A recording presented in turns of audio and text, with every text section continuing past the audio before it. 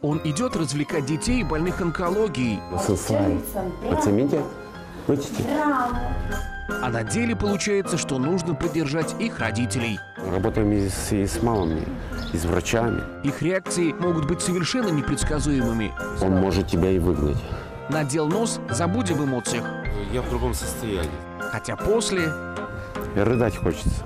Откровения главного клоуна Молдовы Несмотря на то, что я сам прошел через онкологию, он и сам недавно победил рак. Несколько дней после химиотерапии уже все, восстановление шло. Вот дети, которые прошли эту войну, да, вышли победителем. Репортерские истории. Смех сквозь слезы. В субботу, 9 июня в 7 вечера на РЕН-ТВ Молдова.